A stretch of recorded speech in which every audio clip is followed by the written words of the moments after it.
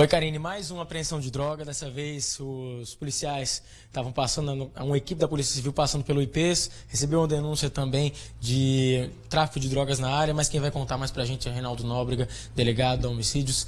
A equipe estava por lá e conseguiu fazer esse trabalho, no caso, de repressão entorpecente também, né? Boa tarde pro senhor. É, boa tarde, boa tarde, Karine. Bem, na verdade, a gente não trabalha apenas com o crime, né? Já que o homicídio ele é a consequência, mas a causa principal é o tráfico de entorpecentes. Bem, os agentes estavam diligenciando na comunidade dos IPs e se depararam com esses dois sujeitos em atividade típica de comercialização de entorpecentes. Então, é, foi dado ordem de prisão em flagrante, foram encaminhados aqui para a delegacia de homicídios e eu vou começar a fazer o procedimento agora, o flagrante deles. Quais são os procedimentos a partir de agora? Existe uma outra investigação? Segue uma investigação para saber se existem mais envolvidos? Qual é o trabalho da polícia nisso? Não, lógico, né? Porque é, a gente está verificando por si só, a comercialização da droga, isso aí já é crime. Né? Então, eles vão ser autuados agora pelo crime de tráfico e de associação por tráfico de entorpecentes. É, vou ouvir agora os policiais civis que é, estavam na diligência. Também vou interrogar os dois conduzidos. Depois, eles vão ser encaminhados para audiência de custódia. É, e lá, se a juíza decidir, vai encaminhá-los para o presídio. Agora, o inquérito ainda continua. Então, eu tenho 30 dias para relatar o inquérito. E se ficar verificado que existem outras pessoas envolvidas, a gente vai também indiciá-las. Então, muito obrigado pelas informações. É, outra informação também passada pelos agentes, além do, do delegado Reinaldo Nóbrega, é que na chegada é, da polícia, eles acabaram correndo, querendo correr. A polícia percebeu essa atitude suspeita e conseguiu fazer essa prisão. Agora a gente vai para outra sala aqui na central de polícia, no bairro do Gás, para mostrar essa apreensão, mostrar exatamente qual foi esse material apreendido para você de casa entender como é que foi essa apreensão de uma maneira maior. Foram 550 reais é, apreendidos, né?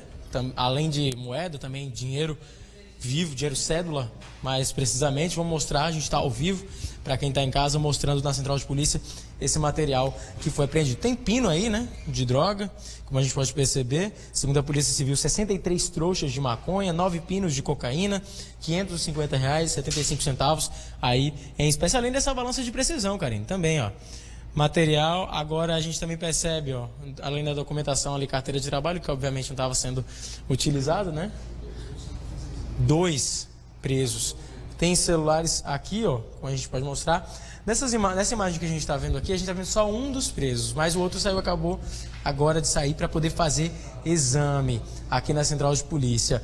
Os presos foram William Williams Conceição da Silva, de 19 anos, e o David da Silva Araújo, de 18. Esse que a gente está vendo na imagem é o de 18 anos. Agora, o que é interessante nesse caso, ressaltar, é que ele completou 18 anos no último dia 20.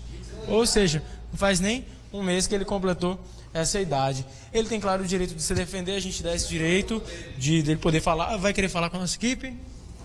O que aconteceu por lá? Prefere manter o silêncio? A resposta dele é o silêncio mesmo, como a gente pode é, conferir. Ressaltar também a presença dos celulares, além das carteiras, que também foram materiais de apreensão aqui da Polícia Civil. Ressaltar também que essa apreensão foi da homicídios, tá? A Polícia Civil agindo no combate também de repressão entorpecentes. Como o próprio delegado falou, não é só a DRE que trabalha nesse sentido, é uma equipe, um conjunto da Polícia Civil que trabalha combatendo os crimes antes que eles virem já a consequência, como o próprio delegado falou, que é a questão de homicídios, de cobranças por dívidas de drogas, enfim.